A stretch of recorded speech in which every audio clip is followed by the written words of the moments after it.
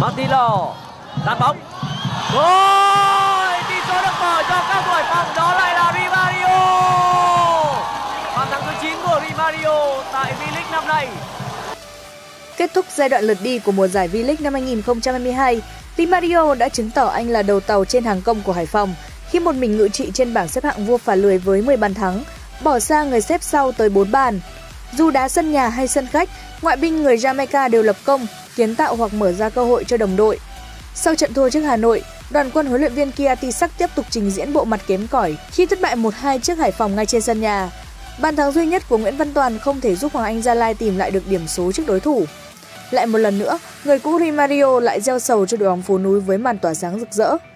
Chân sút người Jamaica đã tự mang về quả penalty sau sai lầm của các cầu thủ hàng Anh Gia Lai và chính anh là người ghi bàn mở tỷ số ở phút thứ 23.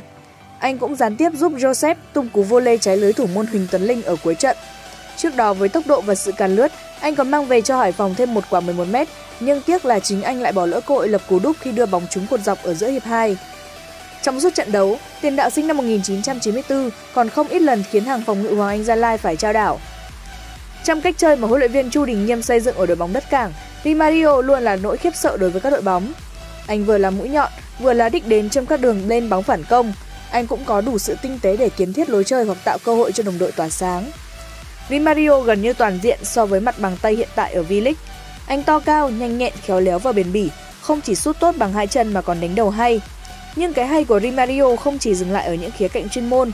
Đây đã là mùa giải thứ 5 của Rimario ở Việt Nam, nên anh đủ quyết đoán, lạnh lùng để không bị chơi xấu và thậm chí nâng tầm kỹ năng chơi tiểu xảo đến mức thuần thục để có thể ngã trong vòng cấm bất cứ lúc nào. Trong những nỗ lực kiếm phạt đền, Rimario đã có một lần thành công ở trận gặp Viettel tại vòng 7. Chứng kiến Di Mario nổ súng liên tục trong mùa này, không biết các cổ động viên của anh Gia Lai đã cảm thấy vô cùng tiếc nuối khi chính đội bóng phố núi lại là nơi trình làng V-League của chân sút ngoại này. Khi còn khoác trên mình chiếc áo của Hoàng Anh Gia Lai, Di Mario đã không để lại quá nhiều dấu ấn. Sau khi gia nhập đội bóng khác, cầu thủ sinh năm 1994 lại thể hiện một phong độ hoàn toàn khác. Trong suốt thời gian thi đấu cho đội nhà FLC Thanh Hóa, Di Mario đã tham gia chơi 28 trận với 16 bàn thắng. Tại Hà Nội FC, anh cũng tham gia chơi 17 trận và có tới 12 pha lập công. Ở Bình Định mùa giải qua, Di Mario ra sân thi đấu 11 trận sau 12 vòng đấu. Ngoại binh đóng góp 3 pha lập công trong tổng 10 bàn thắng của Tân binh tại V-League 1 năm 2021. Gắn bó với Hải Phòng trong mùa giải này, Di Mario đã có cho mình 10 bàn thắng sau 11 lần ra sân. Số phát lập công ngoại binh người Jamaica nhiều hơn đáng kể tổng số bàn thắng hai chân sút nội hàng đầu Hoàng Anh Gia Lai là Văn Toàn và Công Phượng cộng lại.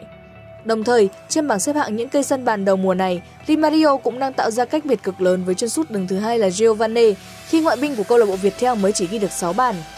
Có thể thấy Hoàng Anh Gia Lai không những để tuột mất một trong những chân sút thượng hạng của V-League mà chính đội bóng này còn là món mồi yêu thích của chân sút người Jamaica. Anh đã giáng một đòn chí mạng và tham vọng vô địch của thầy trò huấn luyện viên Kia Tisak mùa giải năm nay. Hoàng Anh Gia Lai đã mất đi vị trí thứ ba vào tay đoàn quân huấn luyện viên Chu Đình Nghiêm và có nguy cơ bị Hà Nội tiếp tục bỏ xa trên bảng xếp hạng. Có lẽ đội bóng phủ núi sẽ còn rất lâu nữa để quên đi cái tên đã khiến họ phải chật vật tìm cách hóa giải như Di Mario. Đừng quên follow fanpage và YouTube Next Sports để cập nhật những thông tin nhanh nhất về các đội bóng tại giải vô địch quốc gia V-League năm 2022 nhé. Còn bây giờ, xin chào và hẹn gặp lại trong các video tiếp theo.